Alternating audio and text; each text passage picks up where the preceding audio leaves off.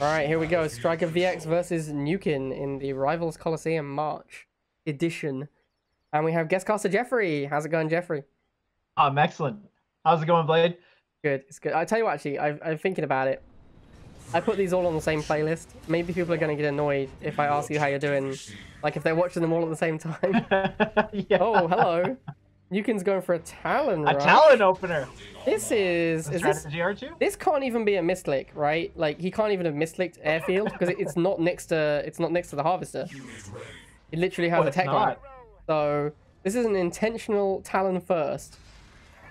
And I don't think Striker's gonna gonna be okay with that. I think Striker is gonna punish him Oh, insanely hard.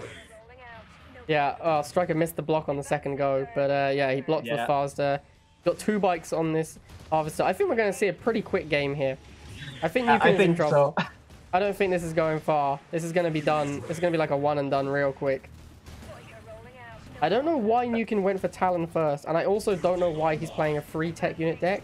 Maybe he thought this was a good map for it. I could certainly see this being a good tech map, but why would you open open Talon?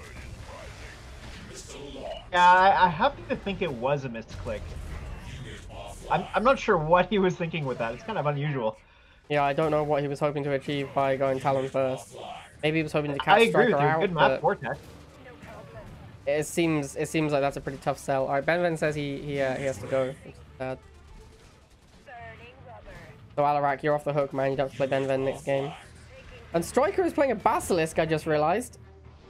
Well, he is too. Oh, what Wow. a guy. I like it. And I this like is it. This is the nightmare scenario. If you're playing a tech deck and your opponent is playing a tech splash and they actually kill your harvesters, the idea of a tech deck is that you don't care when your harvesters die because you're still going to get tech out, right?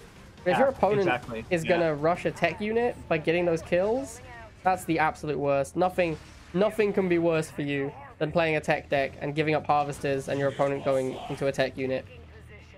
So much went wrong for Nukin in this game. Open with the airfield, isn't getting the double harvester out, has three tech units, can't pull any of them out. Yeah. I gotta I gotta wonder what. Nukin thought he was doing with this deck. This is this is a predictable quick win for Striker. And without being mean, Yeah. I don't know what Nukin was thinking.